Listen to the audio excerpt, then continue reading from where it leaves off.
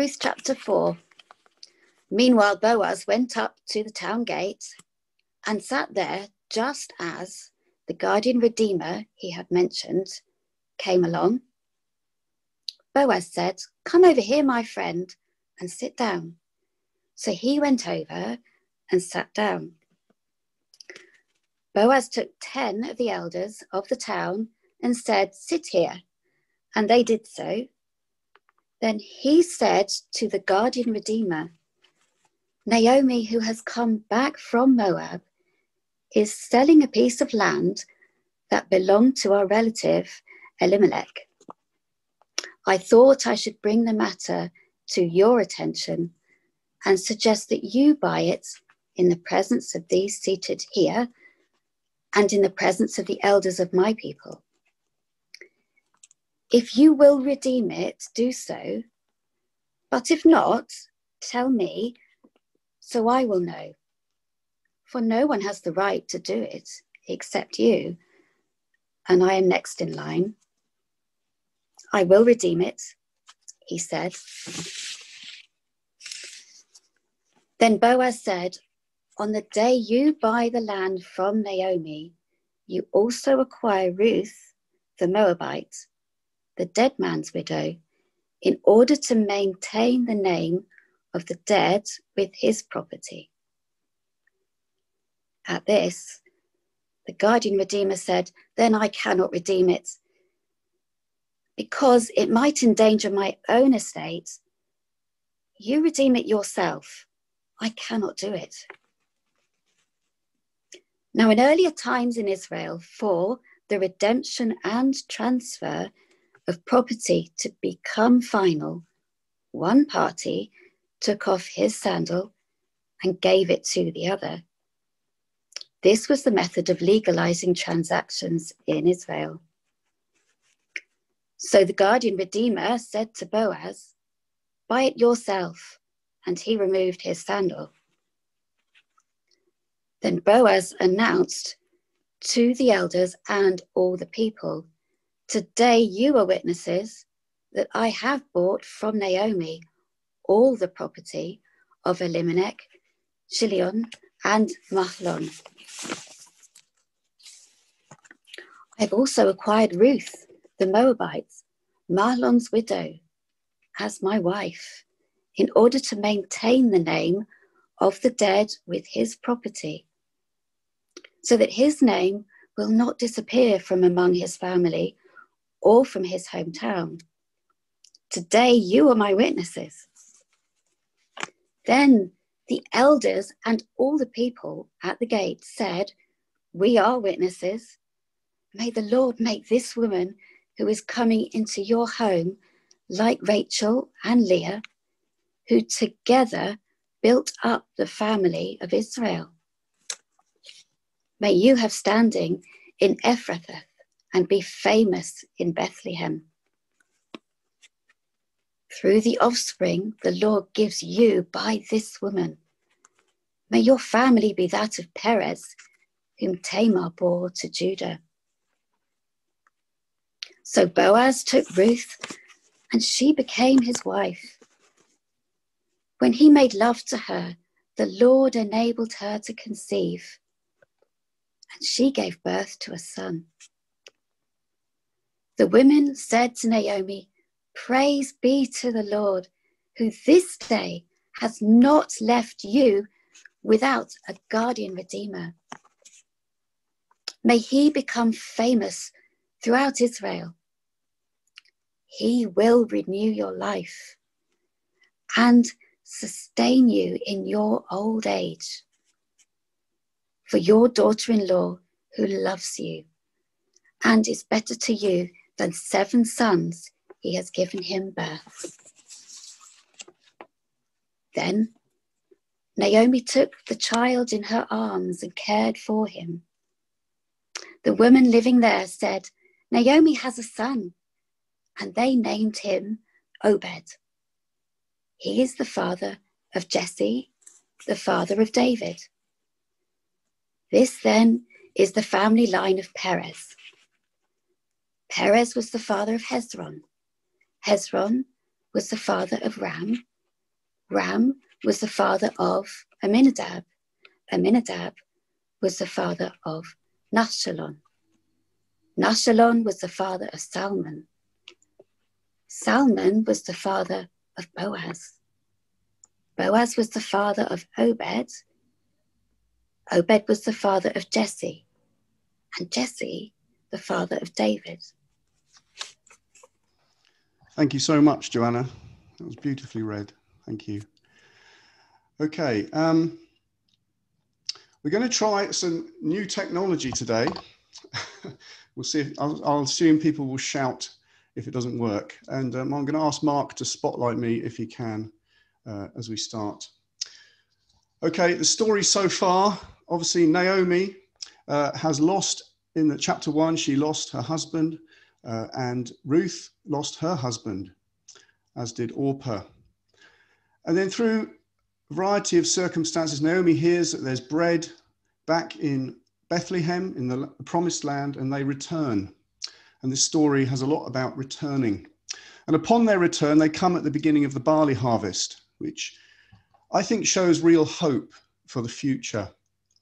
And then they meet and hear about this uh, Redeemer, Boaz, uh, who is the one that can save them. Really, he's like a savior because he can buy the land or look after the land for Naomi. He can uh, marry Ruth and provide an heir so that the name of Elimelech does not die out forever. And so that Naomi's uh, family line does not die out. And uh, a son will be born who can look after Naomi in her old age. Now, we've hit the climax of the story, chapter four. And um, before I talk about chapter four, though, I want to just say, really, to study Ruth, we could do this for eight weeks. It's such a rich, rich book. There are so many layers. I just want to say a few little comments before we look in chapter four. One thing I'd like to point out is this book is about everyday life, isn't it? In many ways, uh, everyday life on the farm, you know, marriage, harvest, um, intimate relationships. It's not battles. It's not huge miracles like the crossing of the Red Sea. Um, and I just want to encourage you that the Lord can use small things, small decisions, everyday things in your life. Don't think you've got to be some big boy up the front or big girl. it's the Lord can use acts of loving kindness. I mean, this story is replete with acts of loving kindness and generosity, and the Lord uses those things. So I want to encourage you don't despise the small things you might do, like a phone call, a text, a visit. The Lord can trigger great things through acts of kindness in the everyday. A second little thing I'd like to mention that blessed me is the fact that Boaz becomes the answer to his own prayer. In chapter 2, verse 12, Boaz says to Ruth, he says, May the Lord, in verse 12 of chapter 2, may the Lord repay you for what you have done. May you be richly rewarded by the Lord, the God of Israel, under whose wings you have taken refuge. And Boaz becomes the answer to his own prayer.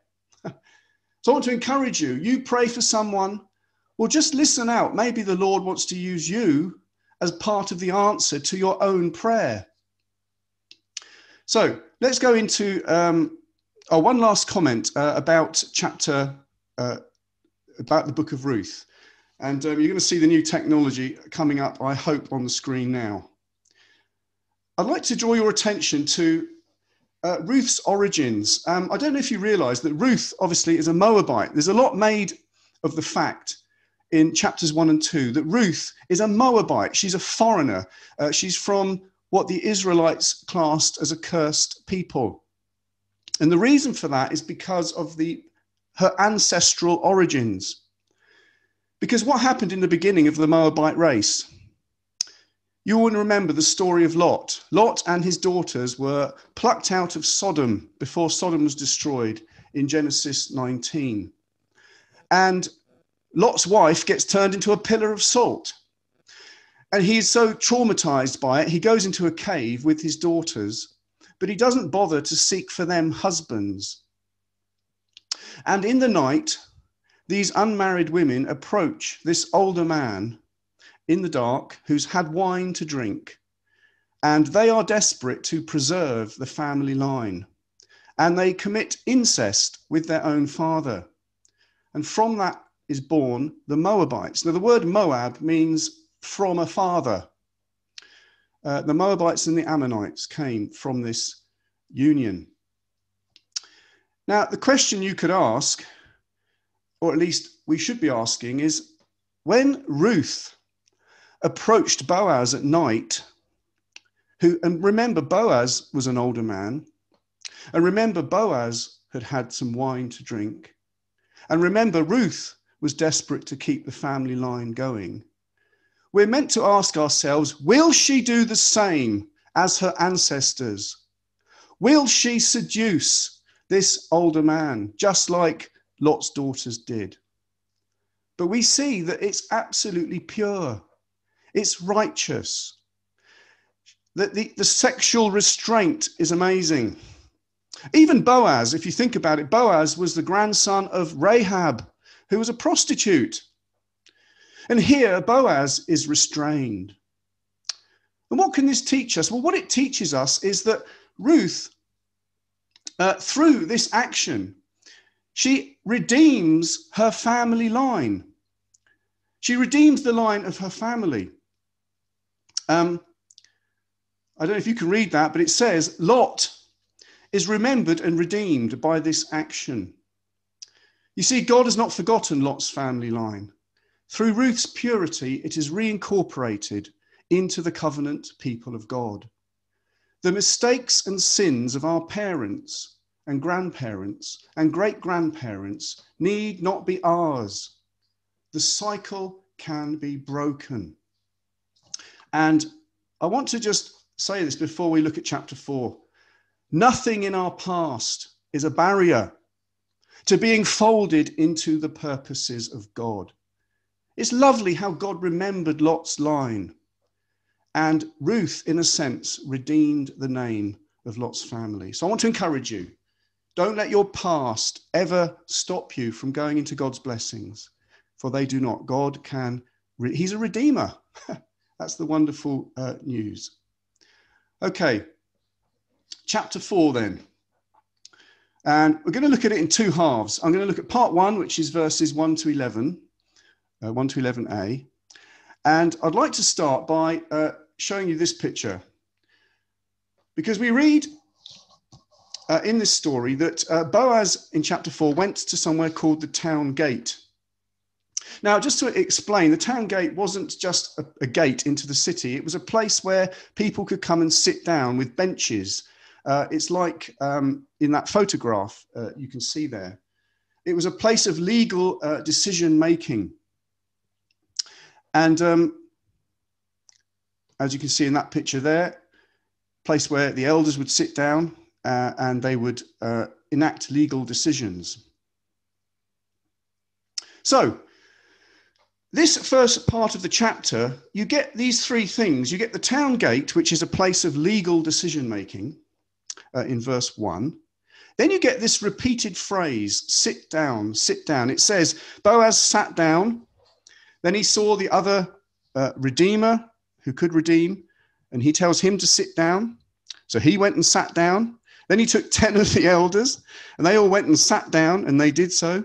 And there's a repetition. And the idea of being seated, just so you know, uh, is, is the idea of um, legal decisions uh, being made, the posture of a legal decision. So, what we're getting in this picture is a serious bit of legal business. Something really serious and legal is happening. And he also gets witnesses to come, you know, which are the guarantee uh, of the legal decision.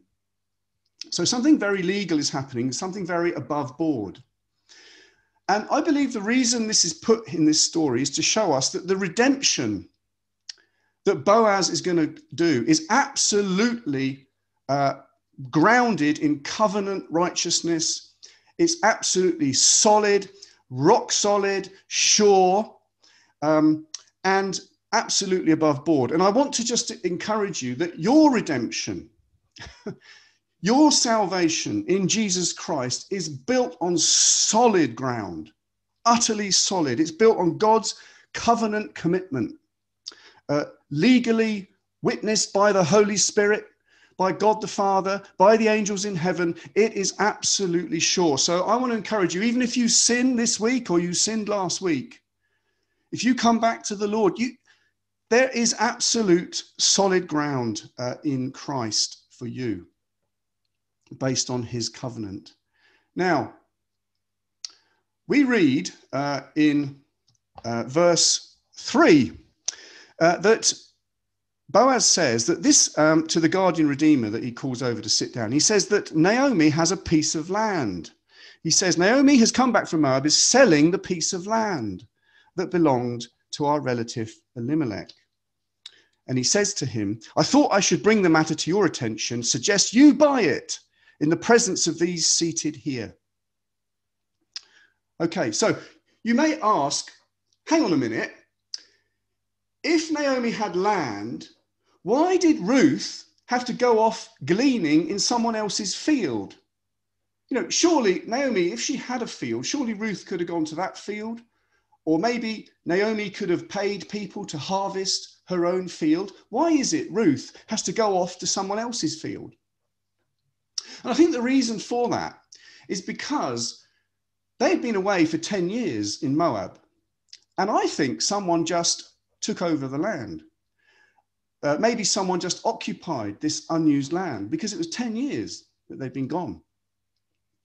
And, or maybe Naomi had sold it, we don't know.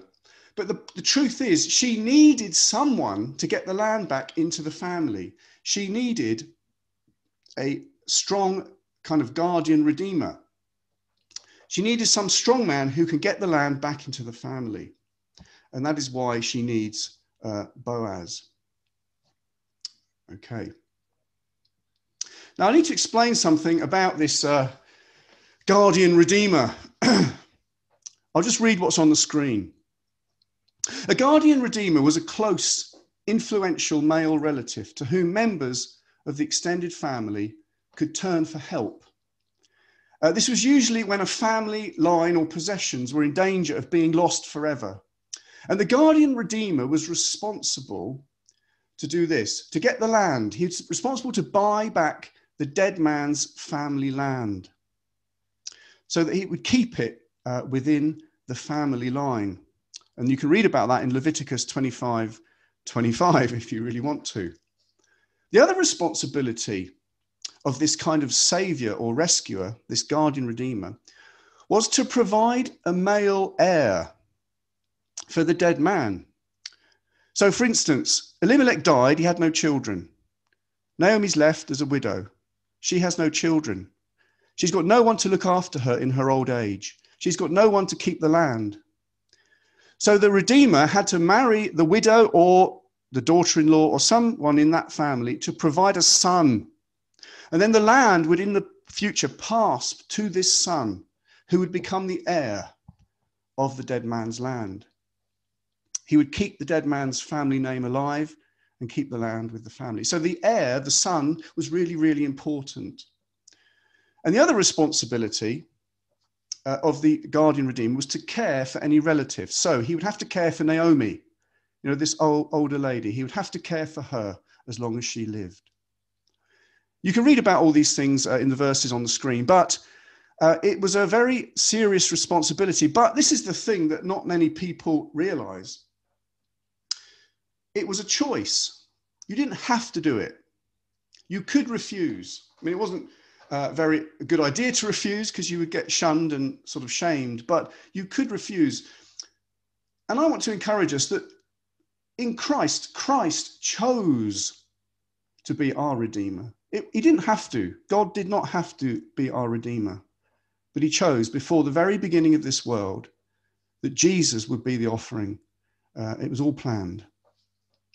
So let's go back to the uh, story. She needs this guardian redeemer to come and buy the land back. So Boaz, however, discovers that there's another redeemer. You could have more than one, you see. And this other redeemer, who's unnamed, he has no name, was next in line before Boaz. So he calls him, like in the picture there, he's saying, Oi, come over here. We need to sit down and work out what's going to happen. Um, now, I to draw your attention to what happens whilst they sit down in verses four to six. This is really important. Boaz says to the man, he says, If you will redeem Naomi's land, do so. But if you will not, tell me, so I will know. For no one has the right to do it except you, and I am next in line. I will redeem it, he said. But then Boaz said, On the day you buy the land from Naomi, you also acquire Ruth the Moabite the dead man's widow, in order to maintain the name of the dead with his property. At this, the guardian redeemer said, Oh, then I cannot redeem it, because I might endanger my own estate. You redeem it for yourself. I cannot do it. now, what's going on here? This is really important. You see, when Boaz said, There's some land for sale, and Naomi owns it, this old lady. The guy, the other guy said, Oh, I'll, I'll redeem it. Yeah. Do you know why? The reason is because he thought, okay, there'll be a bit of a cost. You know, I've got to feed Naomi, this old lady. I'll feed her until she dies. But when she dies, I'll get the land back. Right, and I'll have more land. That's what he was thinking. But Boaz says, hang on a minute, it's more costly than that. He says, if you take this land, you've also got to marry Ruth. And then the guy goes, oh, I can't do that. And the reason is because it's costly. I'll tell you why it's costly. One, he would have to feed Ruth as well. Two, if Ruth has children, he would have to feed the children of Ruth as well. Three, once the children grow up, the land passes to them. So he doesn't get the land. It's like a triple whammy of cost, cost, cost, cost feed Ruth, feed her kids, give the land up. And fourthly, there was another cost. You know, if other children spring up, it might endanger the inheritance that he has set aside for his other kids, because he probably had other kids, this guy. So all he is seeing before him is cost, cost, cost, cost. This redemption is costly. So he turns it down. And I think the point of having uh, this unnamed man in the story is to contrast with Boaz, to contrast his unwillingness to pay the cost, contrast with Boaz, who is very willing to pay the cost. So, what is this um, teaching us? I think it's just teaching us this redemption is really, really costly. It cost God everything uh, to redeem us. Uh, but he was, Jesus was willing to pay the price. Um, there's the little, ver- little sort of phrase I'd like you to remember. Every blessing comes through costly redemption. Uh, really, really costly. Um, every blessing that we uh, experience now and in the future after we are die, after we die and go to be with the Lord is, is, is only come to us through great, great cost. You know, 1 Peter chapter 1, verse 18 to 19, uh, it says these words You were not redeemed with corruptible things as silver and gold, but with the precious blood of Christ. You know, it cost God a life, uh, this, this great redemption. So that's the first, I think, the real meaning of those first 11 verses. Redemption is really, really costly you ought to be thankful to God for all those uh, blessings that come through it. Um, let's go back to the second section now, part two. This is towards the, the second half, uh, right until the end. And um, I want to just bring out to you that really this is the dawning of hope. It's like things turn a corner because once Boaz agrees uh, to redeem the blessing is like a, a, floodgate is opened and so many blessings come uh, across to um, ruth and naomi's family. And these are the blessings that we read about. If you look at um, verse 11 the second half of verse 11 this is incredible.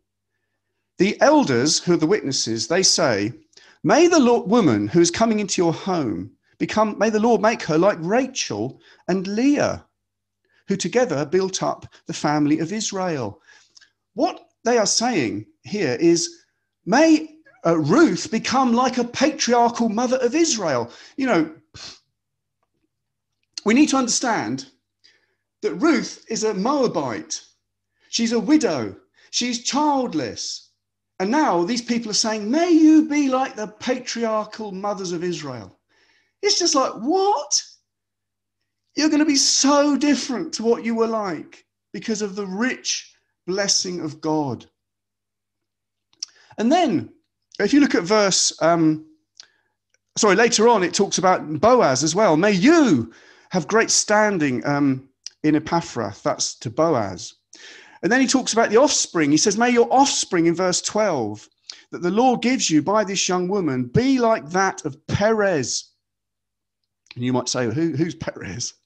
Well, all it really means, I think, is Perez was a significant family line. And God is really, really blessing Ruth and Naomi. You see, if you come back to the Lord and just walk with Him, He will utterly bless you. You bless your socks off. That's the message of this little section. And then if you look at verse 13, it says Boaz took Ruth, she became his wife, he made love to her, the Lord enabled her to conceive, and she gave birth to a son. Now you might think, well, that's pretty normal. Well, it isn't, not for Ruth.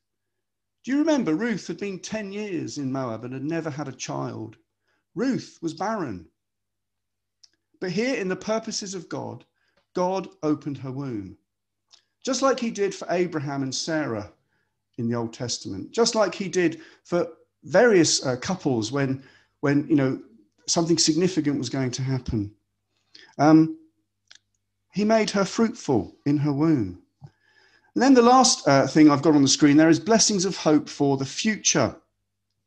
And if you look at verses 14 down to 17, um, it says this uh, the, the women, this is the women talking now, the women of Bethlehem, they say to Naomi, Praise the Lord, to the Lord, who has not left you without a guardian redeemer. May he become famous throughout Israel. And their son, uh, who was Obed, name was Obed, he became, he was the father of Jesse, and then Jesse was the father of King David. So, in a way, he did become really famous. Um, it's amazing how there's a huge future here. Uh, king David was going to come out of all of this, the great king, the, the sort of high point of all of um, Israel's history, really. And uh, there's a little strange phrase uh, in verse 15, I just want to quickly draw your attention to, where they say of this uh, Redeemer this, and the child that will come, He will renew your life and sustain you in your old age. Then, then they say this about Ruth for your daughter in law, Ruth, who loves you and who is better to you than seven sons, has given him birth. Now, you might wonder why do they mention, why do they say Ruth is better than seven sons? I think the reason is this. If you try and link it with David, King David, Jesse had seven sons, but the eighth one, who was it? It was David. The eighth son was David. And what this is really trying to say is Ruth, who's gone from being a foreign Moabite, and Naomi, who's gone from being starved and empty, have now come right bang center into God's purposes because they came back to the Lord. And King David, the eighth son, who's going to rule over Israel, is going to be the hope for their future. I think it's just wonderful how God utterly embarrasses them with these blessings. And I want to say to you, because we're going to close soon, God wants to embarrass you with his lavish blessings. He wants to pour out so much upon you. Don't ever think God is a stinge. Things may not always work out in this life, but God has an incredible amount of blessing stored up for you, especially in the life to come. And I think the message of verses 11 to 22 is simply this these blessings anticipate a greater fullness to come in Christ. Um, the fullness that we see in Christ, by the way, uh, is, is pictured in this story. You know, Naomi goes from emptiness and starvation and death and despair and sorrow to a place of fullness at the end of chapter four. You know, she's got a child in her arms who's going to look after her. The land is safe. The name is safe. There's going to be a, they're folded into the very heart of God's purposes to bring in King David. It's, it's glorious. But you see, this is a shadow of the fullness that we will get one day in Christ. Let me just read to you these scriptures from the New Testament. Colossians 1:19 For God was pleased to have all his fullness dwell in him that's in Jesus. Colossians 2 verses 9 to 10 For in Christ all the fullness of the deity lives in bodily form and in Christ you have been brought to fullness. John 10 verse 10 Jesus said I have come that they may have life and have it to the full. John 1:16 Out of his fullness we have all received. So you see what I'm trying to say today is this is a picture of the fullness we we have in Christ. Now, we get lots of blessings in this life, but I want to guarantee you that in the next life you will be absolutely full beyond compare. Because I want to just point out something to make this a bit clearer. Um, if you look at the picture there on the screen, I've put a quote uh, by a Puritan. His name was John Flavel. He lived in the 1600s. And uh, he said that the blessings we get in this life on this earth they are known as the blessings of the footstool. That's how he called them. You know, something that you put your feet on. Yeah, really, you know, important, but they're not the ultimate. And then he talks about the blessings of the throne. And you see, I've got a picture of a throne there. And what, what John Flavel meant by that was he meant the blessings, the eternal blessings that all Christians will have, the eternal blessings of God. And I just wanted to say to you that you may not get everything in this life that you wanted. You may not, uh, for example, get that husband you wanted, or you may not get that child, or you may not get that job you wanted. But I want you to remember these are blessings of the footstool. God does give us lots and lots of blessings, and He will embarrass us in ways we don't expect. But I want to say to you, this life is just a foretaste. It's like a footstool. But the next life, you will get the blessings of the throne. You will get uh, all of God's blessings richly poured out to you because you are in Christ. Okay, this is my last slide. Um, there's so much we could talk about in Ruth, but I, I want to leave us with a challenge. As well as all the things we've learnt about God's goodness, about returning to the Lord, and, and, all the great wonders that await us in Christ, I want to just challenge us with the theme of loving kindness. Because you see, in this story, the significance of loving kindness in bringing about things is really quite important. You know, Boaz is really generous to Naomi and Ruth. He gives them piles and piles of grain, he gives them lapfuls of grain, and he allows Ruth to uh, glean with the workers you know, and he's very willing to pay the cost of redemption. You know, he's very willing to do it. So there's a theme of generosity. And then you've got Ruth. Look at Ruth's loving kindness to Naomi. You know, she uh, for, forewent any possible husband in Moab in order to be covenantly kind uh, to Naomi. And I just want to encourage us to, in this church, Christ Church Ewell, to not underestimate kindness, loving kindness. I encourage you to go and Show loving kindness more and more to people around you. Because you see, through that, the loving kindness of God can work. I remember I went to preach in a village in India about two, three years ago. And I was really, really nervous having to preach to like, I don't know, 300 people, 400 people in a village at the gospel. And a brother came up to me and he said this to me. He said, Simon, he said, I know you're nervous. He said, just love them just love them. He said, if you love them, the Holy Spirit can work. And I did. I just, I'm just going to love these people. And I did. And the Holy Spirit flowed through loving kindness. And um, The covenant kindness of God is expressed through the kindness of his people. Our loving kindness can be an overflow of God's loving kindness. We are called at Christ Church Ewell, we are called to be men and women of loving kindness, that God will then flow through us his loving kindness. The Lord bless you. And uh, I really love this series on Ruth. Let's just pray a moment and then we will go back to our last song. Father, we thank you for the richness uh, that is found in this book of Ruth. Uh, I pray that we would uh, be a people of loving kindness, Lord.